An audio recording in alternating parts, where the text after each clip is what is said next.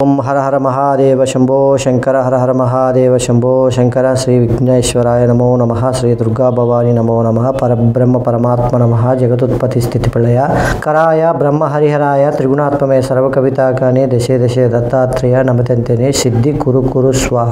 ఓం శ్రీ దత్తాత్రేయ స్వామి నమో నమ. హర హర మహాదేవ శంభో శంకర.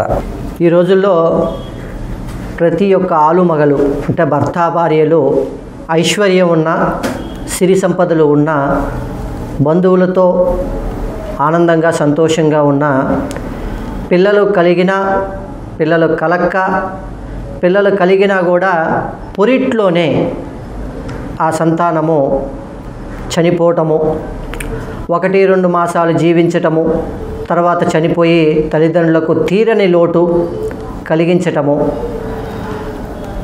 సంతానము కలిగి సంతానము అంది. ఒకటి రెండు మూడు మాసాలు ఉండి ఒకటో మాసములో బహిష్ట అవ్వటము కానీ రెండో మాసములో బహిష్ట అవటం కానీ మూడో మాసములో బహిష్ట అయ్యి సంతానము నిలువక చాలామంది ఇబ్బంది పడుతూ ఉన్నారు. కలిగిన సంతానము కూడా వ్యర్థమైపోయి జీవించలేని ఇబ్బందులతో వాళ్ళు చనిపోవటం వల్ల తల్లిదండ్రులకు తీరని దుఃఖంలో నడుస్తూ ఉన్నారు. ఈ యొక్క సమస్య ప్రపంచంలో వందకు ఎనభై పర్సెంట్ నడుస్తూ ఉంది. ఇది ఎందువలన? దేని చేత? ఇది గ్రహానుసారము బాగలేక గ్రహానుకూలము లేక లేదా తల్లిదండ్రుల యొక్క అదృష్టము సంతాన సఫలం లేక జరుగుతున్నటువంటి ప్రభావం అయినా ఎటువంటి ప్రభావం అయినా జగత్కి మూలము ఆ శివపార్వతుల యొక్క ప్రతిరూపము. మీరు ఇటువంటి సంతానము ఒకటి రెండు మూడు మాసాలు గర్భం నిలగపోయినా బహిష్టవుతున్నా సంతానం జన్మించి అనారోగ్యము పాలైపోయి సంతానం నిలువక చనిపోతూ ఉన్నా కూడా మీరు చింతించాల్సిన పని లేదు. ఈ యొక్క నేను చెప్పే పరిష్కారం ద్వారా మీరు చింతించాల్సిన పని లేదు. లోగడ చింతిస్తూ ఉన్నారు బాధతో ఉన్నారు. నేను ఈ చెప్పిన విధానము ద్వారా మీరు ఈ నడువటి ద్వారా మీరు నడిస్తే దాని ఫాలోఅప్ అయితే మళ్ళా చక్కటి సంతానం మీకు కలుగుతుంది. ఖచ్చితంగా వందకు వంద పర్సెంట్ ఆ శివపార్వతులు మీకు మీ గృహంలో పిల్లలు తిరిగి వాడే స్థితి మీకు కలిగిస్తుంది ఖచ్చితంగా. కాబట్టి ఆ శివపార్వతులకు ప్రతిరూపమైన లింగము. శివలింగానికి పంచామృతముతో అభిషేకం చేస్తూ ఉంటాము. అన్నముతో అభిషేకం చేస్తుంటాము. గంధములతో అభిషేకం చేస్తూ ఉంటాము. కుంకుమతో అభిషేకం చేస్తూ ఉంటాము. పండ్ల యొక్క రసాయాలతో మనం అభిషేకం జ్యూస్ జ్యూస్తో కూడా అభిషేకాలు చేస్తుంటాం. ఎందుకంటే ఒక్కొక్కటి ఒక్కొక్క అభిషేకము ఒక్కొక్క తృప్తిని ఇస్తుంది ఒక సమస్యను తొలగిస్తూ ఉంటుంది.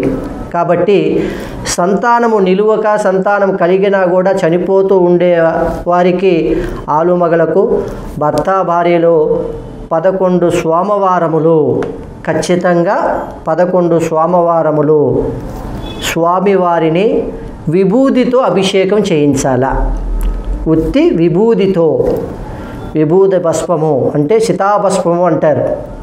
ఈ సమస్య ఏమిటంటే మీకు పిల్లలకు కలిగిన సంతానం అందిన గర్భం నిలిచిన బహిష్టు రూపంలో సంతానము ప్రాణం లేకుండా పోవటము. ఒకవేళ సంతానము కలిగిన శిశువుగా ఉన్నప్పుడే సంవత్సరము రెండు సంవత్సరాలు మూడు నెలలు నాలుగు నెలలు రెండు సంవత్సరం మూడు సంవత్సరాలు అట్లా కలిగి అనారోగ్యం పాలైపోయి మరణిస్తూ ఉంటారు.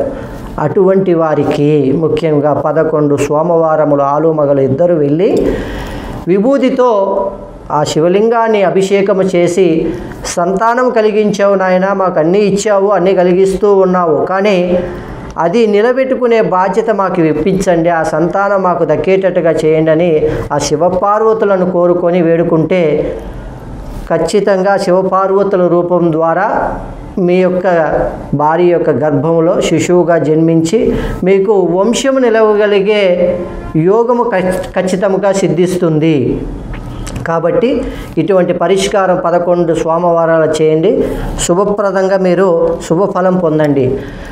అదే కాక మీ కుటుంబం యొక్క సమస్యలు ఏదైనా వ్యక్తిగత సమస్యలు ఏదైనా ఏది సందేహప్రాయంగా ఉన్నా మీ పైన నరుల ద్వారా ఇబ్బందులు కలుగుతున్నా చెడు ప్రభావాలు బయట వాళ్ళ వల్ల కానీ బంధువుల వల్ల కానీ ఓర్చి ఓరబట్టి జరుగుతున్నట్టు మన మానవుల పైన మానవులుగా తయారు చేసి చెడు ప్రయోగాలు కొన్ని నడిపిస్తూ ఉంటారు.